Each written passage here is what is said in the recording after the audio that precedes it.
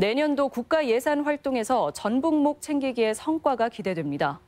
20대 국회 마지막 예산결산 특별위원회에 도내 출신은 바른미래당 정운천, 민주평화당 김광수, 무소속 이용호 의원 등 3명이 포함됐습니다.